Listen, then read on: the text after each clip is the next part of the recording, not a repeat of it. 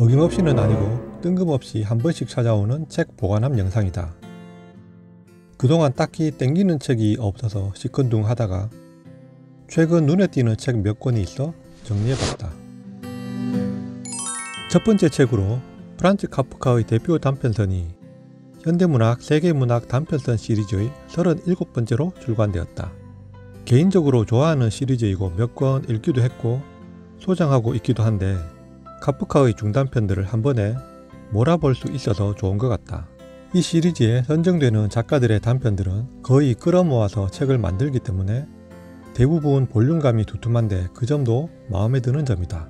이번 카프카의 단편선도 무려 840쪽에 달하는 두께감을 자랑하고 있는데 차례를 나눈 기준이 다소 특이하게 보였다. 보는 바와 같이 출간의 주체에 따라 작품을 나누어 놓았다. 이 책에는 최초의 단편집 관철부터 어느 단식 광대까지 카프카 생전에 발표된 7권의 책과 잡지와 신문에만 발표된 글, 사후 유고집에 실린 단편을 포함해 총 78편이 담겨 있고 미완으로 끝나거나 중간 부분이 유실된 습작까지 포함된 작품집이다. 독일 피셔 출판사의 판본을 기준으로 읽기 쉽도록 무조건 의역하기보다 최대한 원전에 가깝게 번역했고 변신을 중심으로 카프카의 작품 세계 전반에 대한 해설을 함께 실었다고 한다. 카프카 매니아들의 필독서가 되지 않을까 싶다. 두 번째 소개할 책은 세라 그리스트 우드의 비타와 버지니아라는 책으로 뮤진티리에서 출간되었다. 부제로는 버지니아 울프와 비타 색빌 웰트의 삶과 사랑이다. 책 소개말을 빌려보자면 전기 작가이자 영국 왕실 역사 전문가인 저자가 비타와 버지니아가 주고받은 500여 통의 편지를 비롯한 수많은 자료를 꼼꼼히 분석하여 사랑과 우정으로 서로에게 행복과 위안을 준 두 사람의 내밀한 이야기를 아름다운 사진들과 함께 풀어냈다고 한다. 나는 무엇보다 버지니아의 소설 올랜도의 모델이 된 실제 인물이라고 하여 관심이 갔다. 버지니아는 비타를 만나지 5년쯤 후 비타를 모델로 한 소설을 구상하고 그 소설의 제목을 올랜도로 정했다고 한다. 소설 올랜도를 쓰면서 버지니아는 비타를 새롭게 연구하고 그녀 주변 인물들까지를 소설에 녹여냈다고 한다. 그리고 책에 실린 사진들이 풍부해 사실감을 더욱 높여주는 것 같다. 작가 버지니아 울프와 그 작품 이야기가 아닌 개인 버지니아 울프에 대해 읽을 거리가 목말랐던 독자라면 이 책은 그 목마름에 얼마 정도는 해소해 줄 책이 아닐까 짐작해 본다. 최근 신간을 살펴보다가 가장 놀랐던 책을 소개할 차례다.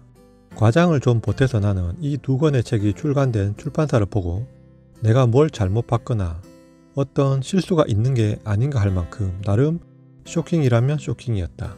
지금 보이는 책이 바로 그 두 권의 책인데 각각 듀나와 이영도 작가의 작품이다. 장르 소설을 읽어봤거나 그 바닥을 좀 아는 독자라면 모를 수가 없는 대표 작가들이다. 이영도 작가 하면 당연히 드래곤 라자가 떠오르는 대한민국 대표 판타지 작가이고 듀나 작가 역시 필명 듀나로 1992년부터 영화평론가 대중문화 비평, 특히 SF 작가로 활동하고 있다.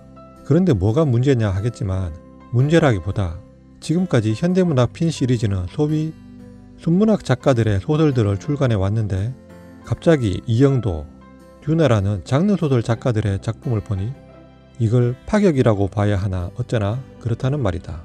잘 알다시피 한국은 순문학과 장르 문학을 다루는 경계가 뚜렷한 편인데 이제 그 경계가 조금씩 허물어지는 신호탄이 되는 건가 하는 생각이 들었다. 김초엽 작가의 작품이 2020년 젊은 작가상 수상 작품집에 포함된 사례도 있고 좀 더 지켜볼 일이겠지만 흥미로운 일인 것만은 분명하다 하겠다. 다음 소개할 책은 루시아 벌린의 두 번째 단편 소설집이다. 첫 번째 소설집 청소부 매뉴얼은 소개 영상을 만들기도 했는데 이렇게 두 번째 소설집까지 나올 줄은 몰라서 반가운 출간 소식이다. 루시아 벌린은 평생 77편의 작품을 썼는데 국내에 출간된 소설집에는 각각 43편과 22편이 실려 있다. 과연 남은 12편의 작품을 실어 세 번째 소설집을 내줄지 아니면 두 권으로 그칠지 궁금하다. 이번 두 번째 작품집 추천사에 영화감독 박찬욱의 추천사가 있어 옮겨와 본다. 루시아 벌리는 한순간도 상투형에 머물지 않는다. 누구도 하지 못한 경험을 누구나 이해할 수 있는 말로 표현한다. 이 책을 읽고 루시아의 식구나 애인이나 친구나 이웃이나 하다못해 애완견이라도 된 듯한 느낌이 들지 않는다면 뭔가 잘못된 거다. 보라, 일면식도 없지만 나도 모르게 그냥 루시아라고 이름으로 부르고 있지 않나. 레이먼드 카버 부럽지 않다 하고 쓰려 했더니 벌써 누군가 비슷한 말을 해버렸네? 미국의 안톤 체호프라 부를까도 생각해 봤지만 그런 비교는 이미 흔해 빠졌다고 한다. 그럼 난 이렇게 말해야겠다. 루시아 벌린처럼 문장으로 생생하게 묘사할 능력만 있다면 누가 여러 사람 모으고 돈 많이 들여서 영화를 찍겠나. 다음으로 소개할 책은 루이 헤르디나 셀린느의 밤 끝으로의 여행이다. 이 책은 2004년에 발간되었지만 절판되어 중고책 가격이 대략 9만원 선에 책정되어 있기도 하다. 이번에 출판사 최측의 농간에서 역자와 함께 초판에 존재했던 일부 오기를 바로잡아 심판으로 발간했다. 나 역시 소문으로만 접하고 있던 책이었는데 서점에서 직접 실물을 만져보니 소장 욕구가 발동하기도 했다. 하지만 정가 28,000원이라는 가격도 그렇고 736쪽이라는 만만치 않은 분량도 분량이지만 페이지가 휙휙 넘어가는 소설도 아닐 것 같아 이렇게 일단 보관함에 넣어두기로 했다. 이런 류의 소설은 진짜 무료할 때 그 무료함을 무료함으로 맞받아쳐야 할 때 보면 좋은 소설이 아닐까 한다. 마지막으로 실비아 플라스의 소설 메리 벤투라와 아홉 번째 왕국이다. 흔히 실비아 플라스라는 이름은 젊은 나이에 자살로 생을 마감한 천재 시인으로 알려져 있다. 그리고 그의 남편은 영국의 계관 시인 테드 휴스라는 사실이 따라오기도 한다. 실비아 플라스는 죽기 직전 익명으로 벨자라는 소설을 발표하기도 했는데 이 소설이 정식 발표한 유일한 소설이다. 이번에 발간된 실비아 플라스의 미발표 소설 메리 벤투라와 아홉 번째 왕국은 60여 년 만에 최초 공개되는 것이라고 한다.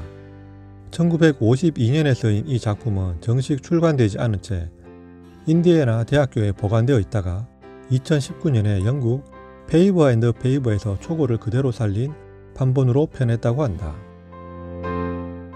지금 이야기하고 있는 실비아 플라스의 작품처럼 작가의 사후에 작가의 동의 없이 발표되는 작품들을 어떻게 봐야 할까 하는 생각이 든다.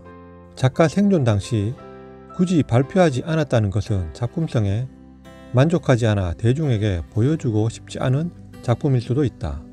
그렇다면 그걸 굳이 끄집어내 만천하에 공개한다는 건 살아있는 자들의 욕심을 넘어 폭력이지는 않을까 하는 것이다.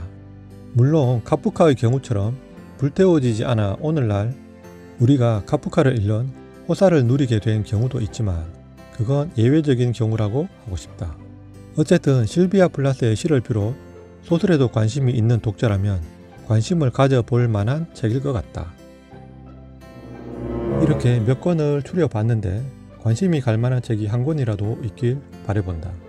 내게 우선적으로 한 권만 꼽아보라면 셀리느를 꼽아본다. 언제나 그렇듯이 당장 읽는 것과는 별개의 얘기다.